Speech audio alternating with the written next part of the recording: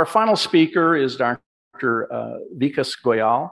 Dr. Goyal is a general pediatrician at uh, Vinayak Hospital in um, Gandhidham uh, Ho, and he has been part of the healthcare system there since 2007.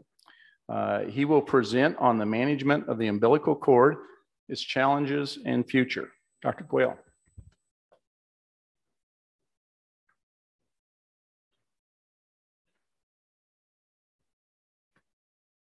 Thank you.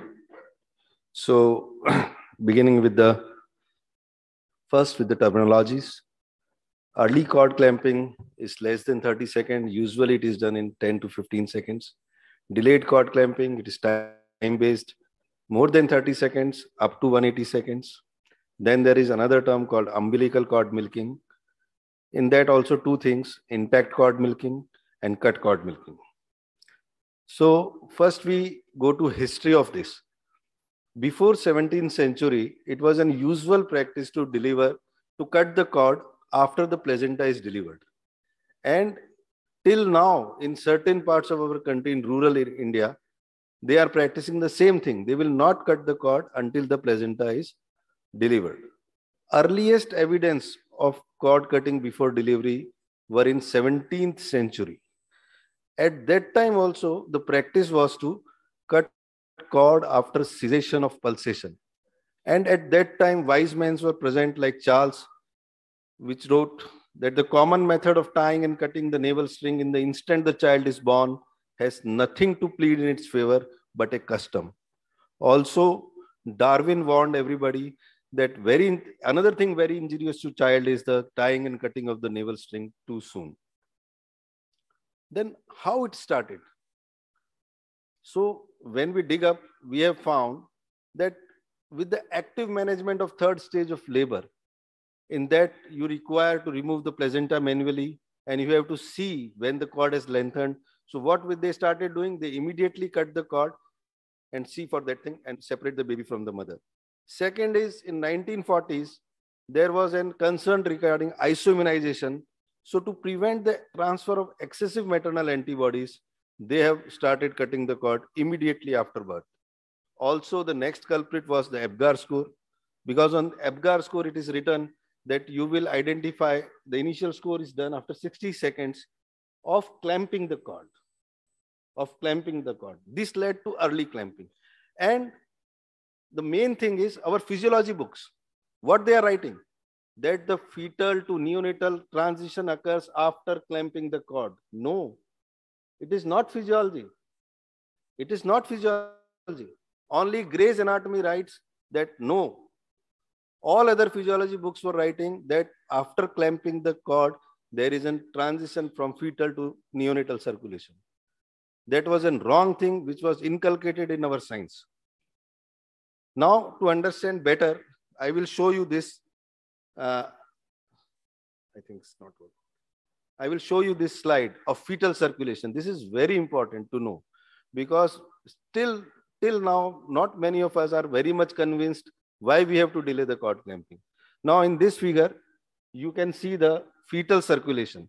So from umbilicus, the oxygenated blood is going through inferior vena cava into right atrium.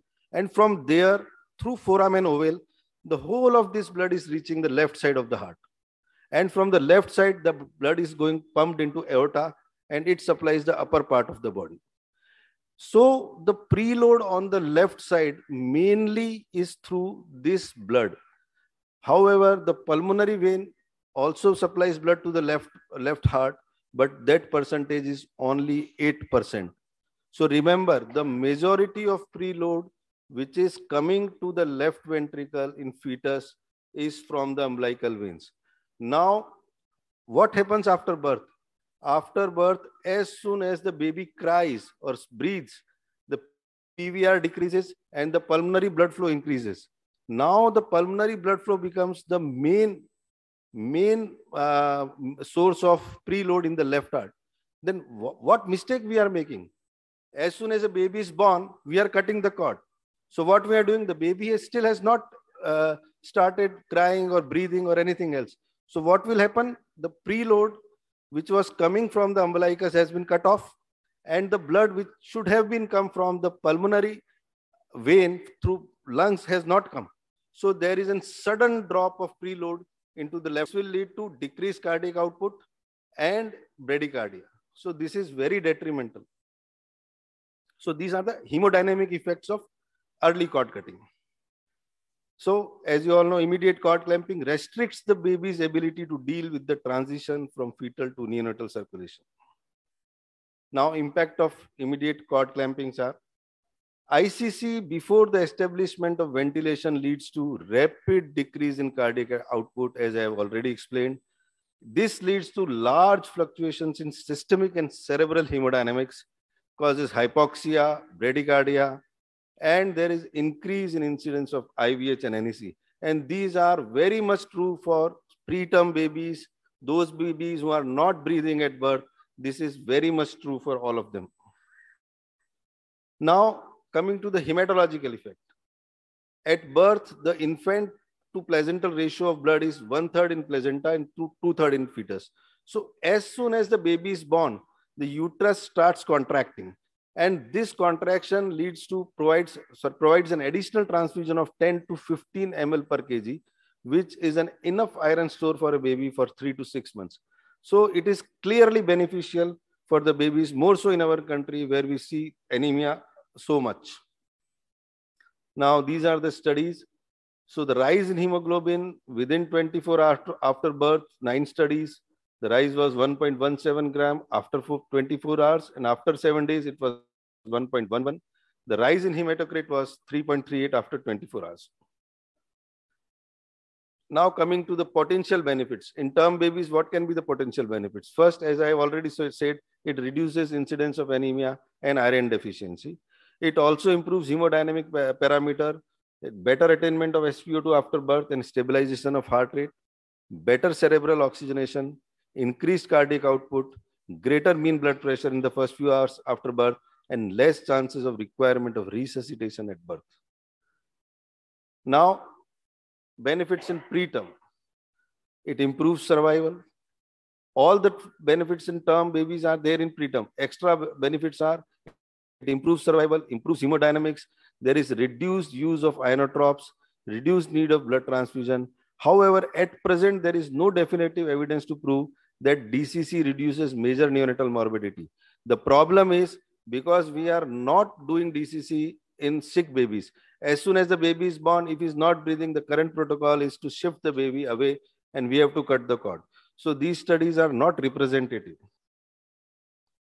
Now, I will give you a brief of different resuscitation councils, different countries which have changed, modified their uh, guidelines. Now, the first is this European Resuscitation Council Guideline 21. They have said that the aim should be to delay clamping the cord for at least 60 seconds. A longer period may be more beneficial. And they have specifically said that clamping should ideally take place after the lungs are aerated. And whenever there are adequate thermal care and initial resuscitation interventions, which can be safely done at, on the mother side, then even if the baby is not breathing at birth, you should try to delay the cord as, as much as you can. And where delayed cord clamping is not possible, consider cord milking in infants more than 28 weeks because doing cord milking in less than 28 weeks has shown to increase IVH. So this is a poster from the European Resuscitation Council. In their five top messages, the first comes is delayed cord clamping. So you can see the importance of it. Delayed cord clamping can optimize condition, especially in the preterm infants. Also, this is uh, ANZCOR newborn guidelines. They also suggest the same thing, that it should be delayed for more than 60 seconds and uh, cord milking should not be done below 28 weeks. This is WHO recommendation that the cord should be not be clamped earlier than one minute after birth. And when newly born term or preterm babies require positive pressure ventilation, the cord should be clamped and cut to allow effective ventilation to be performed.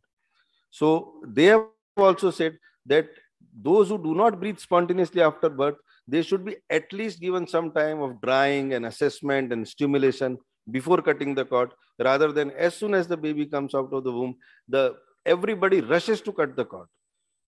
As soon as the baby will come out, the gynecologist and his assistant, everybody will rush to cut the cord immediately so that to take the baby to the pediatrician. This should not happen. This is now ACOG recommendation that at least 30 to 60 seconds after birth in vigorous term and preterm infant. This is AAP's guidelines for most vigorous term and preterm and term newborns. Clamping should be delayed for at least 30 to 60 seconds. Now coming to the challenges. The first challenge comes from the obstetricians.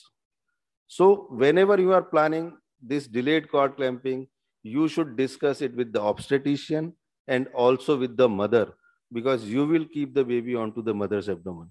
So you should take both of them uh, with you and discuss plan why you are doing it that you should tell them very clearly where to keep baby after vaginal delivery some some people are saying that we should keep the baby below the level of uterus so that the blood will flow. Somebody say at the level.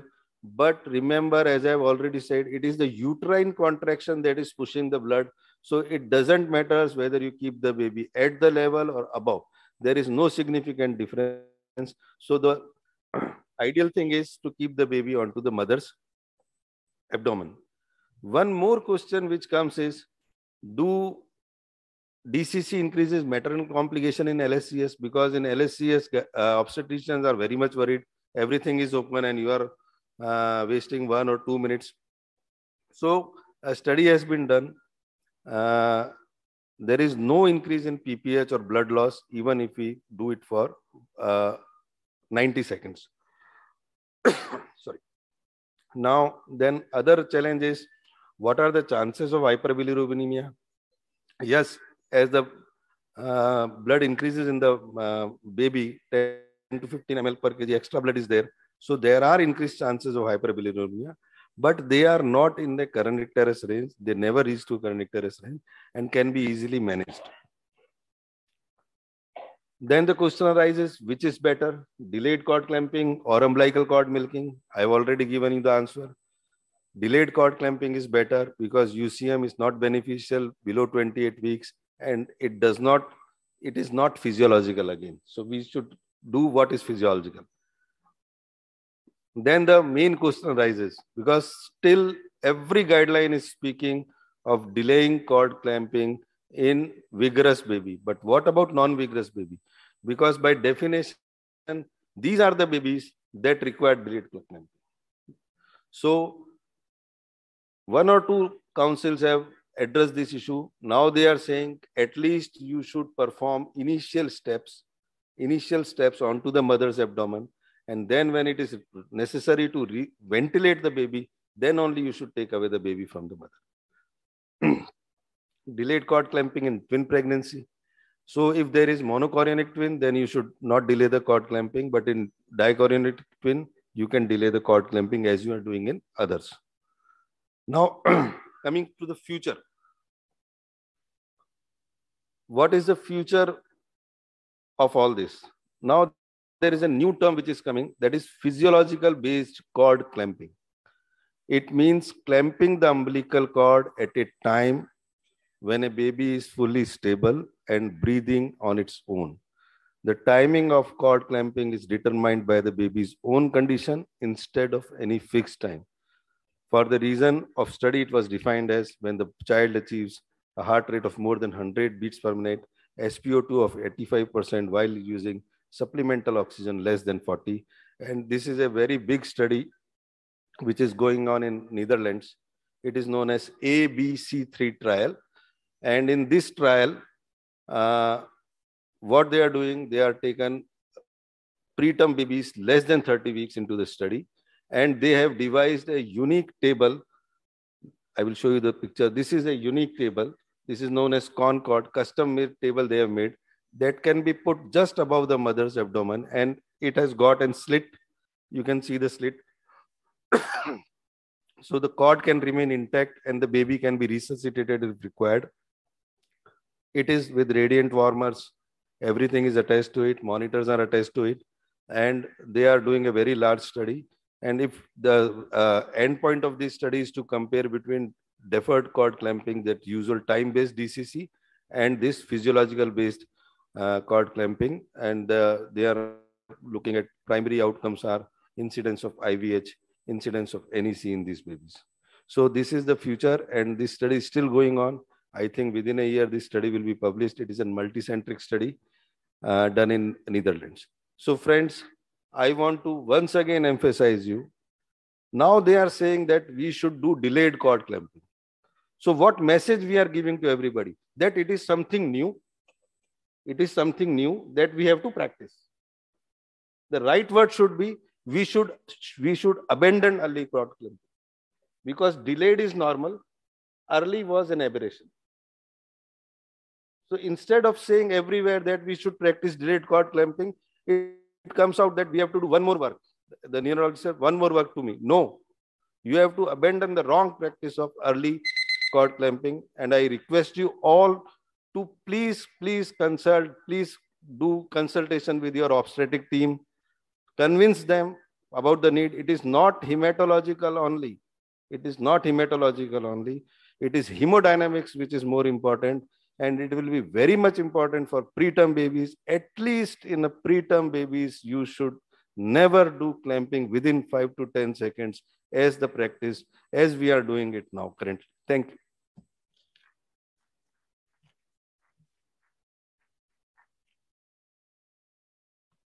Thank you, Dr. Goyal. Uh, I think we have plenty of time for questions, so let's go ahead and open up the microphones. Yeah. Yes. So uh, my question to Dr. Upadhyay, he have said that in India there is uh, no recommendation for antenatal steroid. You have shown, yeah.